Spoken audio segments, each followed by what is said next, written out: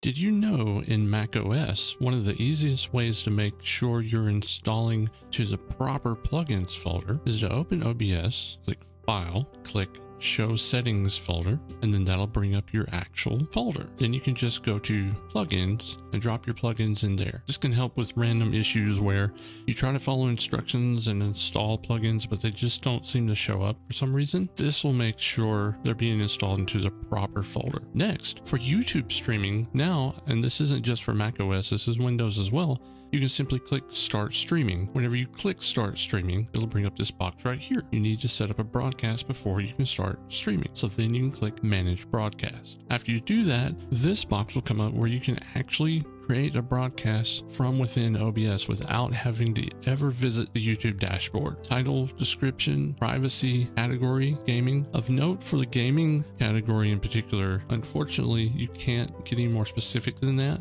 You can go through, set all of this up, and once you go live, you will need to go to the dashboard and edit to specify which game. I'm hoping they'll fix that one of these days. You can specify thumbnail, latency. Most importantly, I would be sure to check the box to remember these settings. And that way, the next time you launch this, you'll have kind of a template set up the way you want it for next time. You can, of course, still select existing broadcast if you've already created and scheduled them in the YouTube dashboard. Also for YouTube streaming, you can create this handy little event dock using StreamElements, similar to how you would with Twitch. The way you'll do this is we'll create a custom dock. Log in to use StreamElements dashboard and then click pop out. After you scroll down and click pop out, you want to go to the top where it says StreamElements, right click and copy website address. After you've done that, you can close this out. Then we want to go back to OBS, click Docks, Custom Browser Docks. And I've already created one here, but we'll paste that address right there. Now, after you do that, you've got your dock and you'll set it wherever you want. The next problem you're going to run into is the default color is this bright white. So this is kind of clunky, but there is a way we can change change that. We go to docks again, do custom browser docks, create another one temporary that is just streamelements.com. After you apply and pop that up,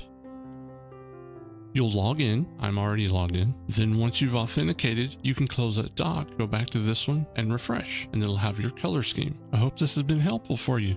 Thanks.